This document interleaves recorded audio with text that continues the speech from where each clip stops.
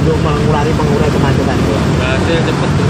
Cepat. Ya biasanya kan lambat saya. Ya, Nah terus jaraknya juga semakin deket kan. semakin dekat. Iya.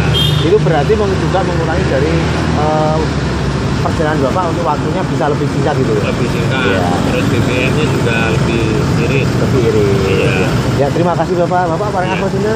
Anton Sutrisno. Oh, Anton. Terima kasih Pak Anton. Iya, terima kasih. Ya. Tadi dari perjalanan dari mana Pak? Dari Jambi pak. Dari Jambi. Iya.